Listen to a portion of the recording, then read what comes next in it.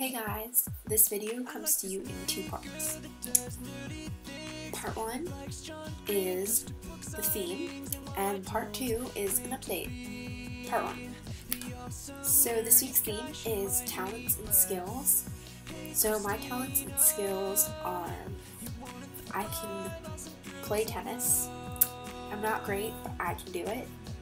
Also, I can play the recorder somewhat, and I'm good at math, even though I hate the class. Like, that used to be my best grade in elementary school, even though I hated the class then.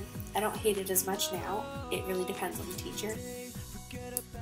Part 2 is an update. Well, I got a Mac for Christmas, so this today's video isn't that great quality, probably because I'm using my iSight camera just to test out quality. And also, I'm using iMovie today for the second time. I used it once before. And I got a guitar for Christmas, so I'm learning how to play that too. So yeah, I'll see you guys next week. So this is how I remembered this entire video. I wrote it on my arm.